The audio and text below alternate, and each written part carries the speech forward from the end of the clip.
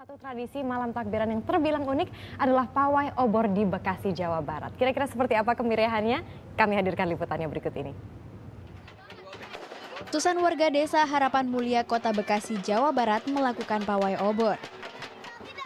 Mulai dari anak-anak hingga orang dewasa berkeliling kampung sambil membawa obor. Obor dibawa berkeliling sejauh 5 km melewati setiap jalan di wilayah ini. Mulai dari gang kecil, pinggir sungai, hingga jalan raya.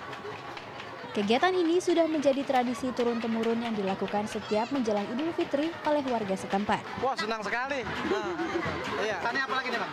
Kesannya ya semoga tahun depan ya begini terus berlanjut. Pawai obor tahun ini dikelola oleh Dewan Pemuda Masjid Al-Inaya.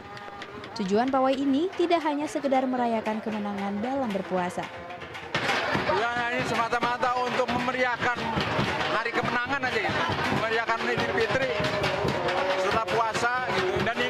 disiapkan ya sebelum Jawa dengan pesantren Ramadan dan tutup dengan ini. Sayang, tradisi unik seperti ini tak lagi banyak dijumpai karena tergerus oleh perkembangan zaman. Tri Iswanto melaporkan untuk Net.